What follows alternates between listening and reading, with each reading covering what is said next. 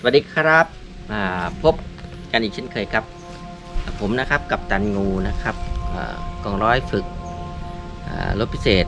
ที่หนึ่งนะครับของแก่งกระจานนะครับ วันนี้เราก็มีเรื่องราวที่น่าสนใจอีกเรื่องราวหนึ่งนะครับ ที่จะเอามาแนะนำทุกทุกๆท่านนะครับ คือวันนี้เรามีงูเหลือมออยู่ตัวหนึ่งนะครับ งูเหลือมใครที่ได้เคยได้ดูคลิปนะครับ ในการจับงูในเล้าไก่นะครับ หรืออในการจับงูง่ายๆ สไตล์ของกัปตันงู ตัวเดียวกันครับนะตอนนั้นยังไม่เชื่องนะครับ แต่ตอนเนี้ยเขาก็ยังไม่เชื่องเหมือนเดิมนะครับ เราจะเอาเขาไปปล่อยคืนสู่ธรรมชาติ แต่แต่เราก็ยังไม่เอาไปปล่อย เราจะต้องเอามาแนะนำกันก่อนว่า ที่การจับงูได้แล้วนะครับ มาละลายพฤติกรรมขั้นพื้นฐาน นะครับ ไม่ให้งูเขาเกี่ยวกาดนะครับดุร้าย เราทำมันยังไงนะครับทำมันยังไงนะครับ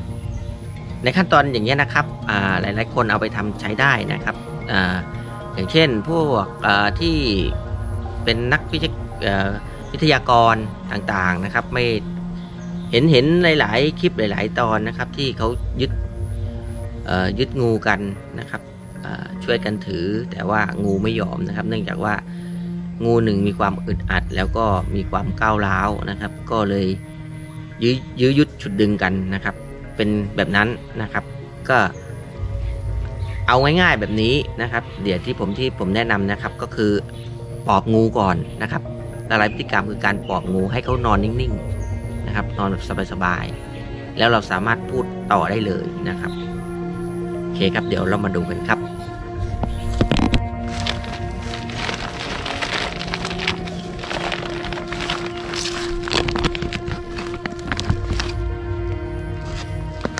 เดี๋ยวก่อนเดี๋ยวพี่เทก่อ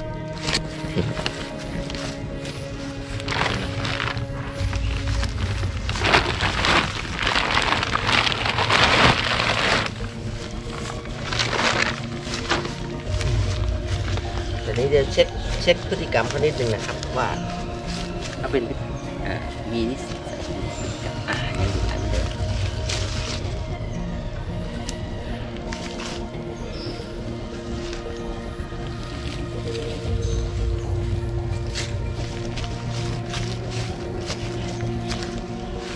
อ่าเราเห็นพฤติกรรมเขาอยู่แล้วนะครับ พฤติกรรมเขาแบบนี้ เวลาเราเราจับเราก็ใช้ผ้าเหมือนกันเหมือนเดิมนะครับ ใช้ผ้าเหมือนเดิมนะครับ เราก็ใช้ผ้าเหมือนเดิมครับเพื่อเอาไปขุดหัวเขาครับ แล้วก็จับนะครับง่ายๆเหมือนเดิมนะครับ จับง่ายๆโอเคครับ จับเสร็จแล้วนะครับเขาเราระแวงอยู่ระวังมือด้วยนะครับ ระแวงอยู่แล้วก็ใช้วิธีการนะครับปอบเขานะครับ จับเขาเบาๆแบบนี้นะครับเขาก็จะไม่ ก้าวร้าวนะครับ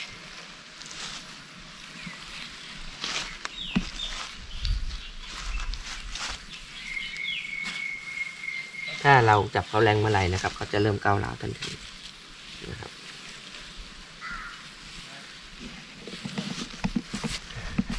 เดี๋ยวเราล็อกเขาไว้ก่อนนะครับล็อกเขาไว้ก่อนเลยนะครับ เดี๋ยวเราปอกเขาเลยนะครับ อันนี้ขั้นตอนนะครับ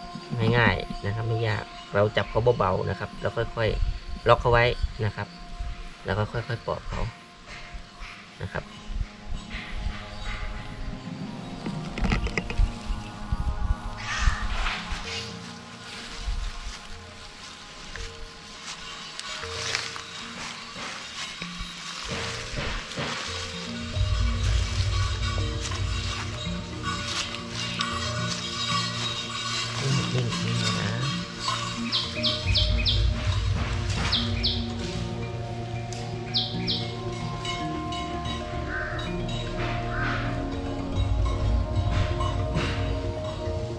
เราต้องสังเกตพฤติกรรมเขาด้วยนะครับว่า เขาชอบวิธีใดครับ ที่จะให้เราปอบเขาได้นะตาเขาเหลือกไปเหลือกมานะครับ เล่นลูกตาอยู่อย่างนี้นะครับ แสดงว่าเขายังไม่ไว้ใจใครก็ระมัดระวังนะครับ เดี๋ยวเราค่อยๆ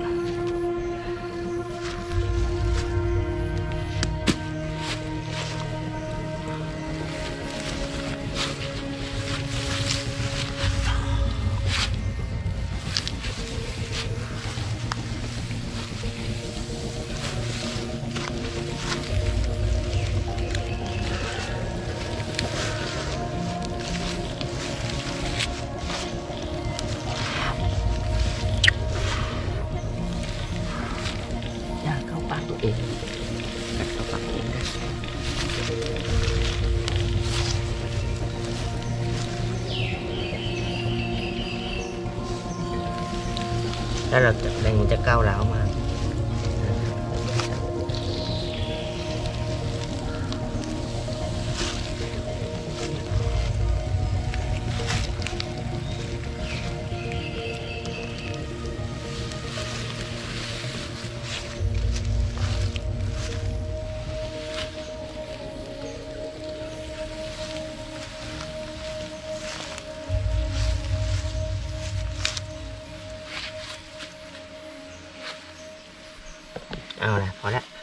พอได้แล้วอย่าก้าวร้าวเยอะอันนี้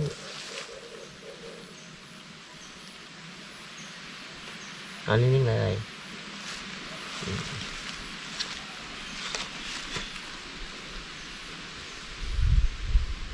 อืม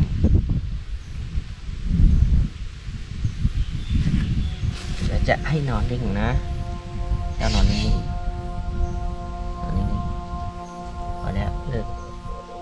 โกรธโมโหได้แล้ว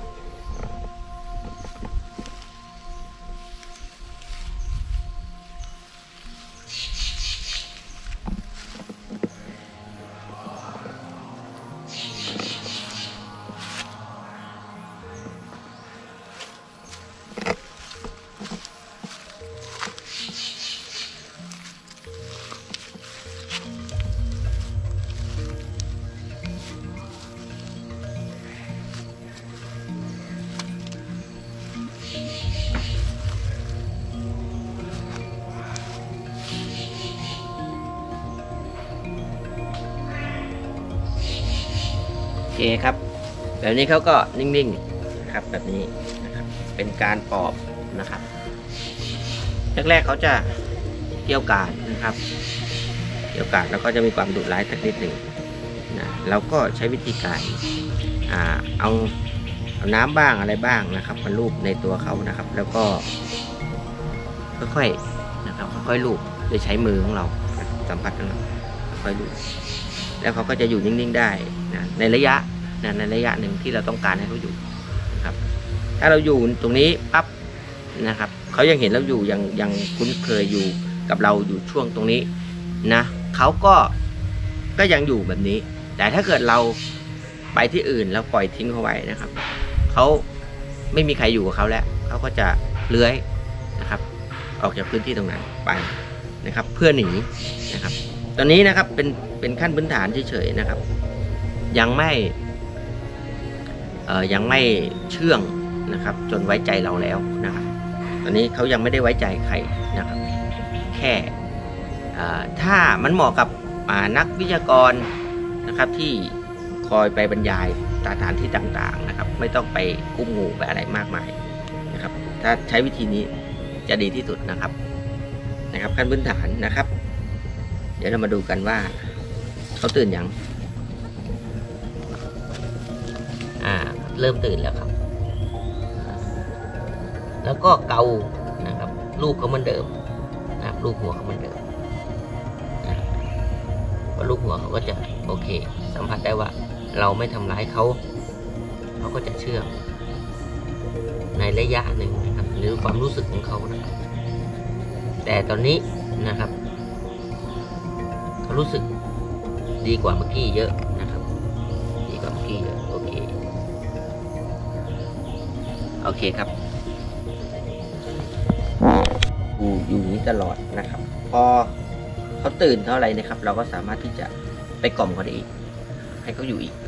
ได้อีกสักพักหนึ่งห้านาทีสิบนาทีประมาณนี้นะครับโอเคนะครับสำหรับวันนี้ก็ก่อนจะนำงูตัวนี้นะครับ จะเข้า นะครับ เข้าคืนสู่ธรรมชาตินะครับ แล้วก็เอามาแนะนำกันก่อนนะครับ ช่วยกดติดตามนะครับ กดให้กำลังใจกันด้วยนะครับสำหรับวันนี้ก็นะครับ สวัสดีครับบายครับผม